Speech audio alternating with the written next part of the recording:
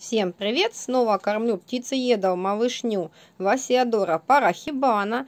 Напоминаю, что детишки вот такие вот козявошные в продаже. Хищники мелкие. Он как вцепился, товарищ. Он глазочки блестят. Короче, дети продаются, ждут своих владельцев.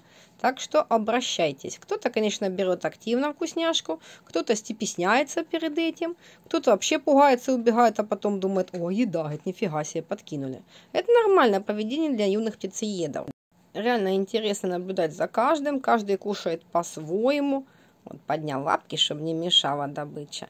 Да, бывает и такое. Вот кто-то пугается, но потом подумает, увидит движение и скажет, что «О, вкусняшка!» Это мне спасибо. Без суеты. Вот, вкусно, полезно. И ноги даже особо не мешают. Лапки подымешь и кушать можно.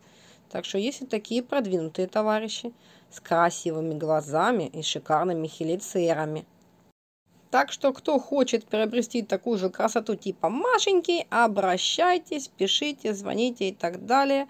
Помогу, расскажу, продам. Так что вот такая красота вырастает в маршруткины калибры.